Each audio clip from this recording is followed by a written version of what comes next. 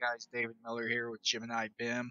Just wanted to share with you guys a quick method for duplicating sheets that already have views on them. So this will duplicate the sheet and duplicate the views on the sheet. Uh, we'll be using Dynamo for this example and let's just jump right into it let me open up the actual graph and let me walk you through it real quick. So if you wanted to recreate this graph on your own you can. If not I will try to have this graph available for download. Just look into the description of the video. So I designed it to be used with Dynamo Player and that's how we'll actually run it but I just want to open up the actual graph and walk you guys through it real fast. We have a couple inputs here. Um, an image for our logo, uh, sheets, collecting the sheets and uh, making a method for us to be able to select the physical sheets that we want to duplicate.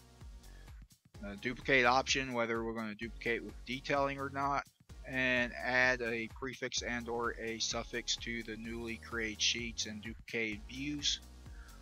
We're using data shapes to drive the user form for the selections and uh, allowing a, a, nice user interface for the users. And then bimorph nodes is the main component of what we're using to actually duplicate the sheets and views and place everything on to those newly created sheets. So let's close out of this.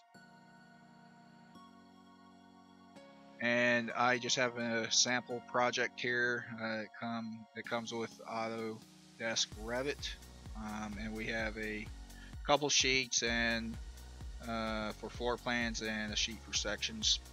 So nothing nothing super going on here but it will serve the purpose as an example.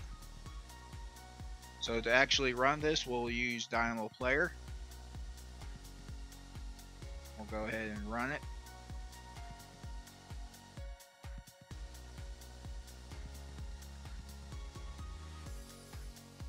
and we come up with the user interface here where we can select um, a single sheet, multiple sheets, we could select all the sheets.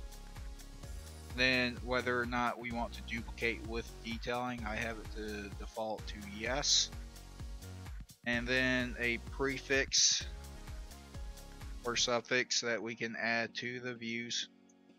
And you have to add either prefix a suffix or a combination of both for the uh, graph to actually execute the command. And then we can cancel if we wanted to and go ahead and duplicate the sheets. And then depending on how many items you're trying to duplicate could be anywhere from a few seconds to a couple minutes. But once the graph has completed, then you'll notice in the project browser that you should see some new sheets created with the recently duplicated views and everything should match up.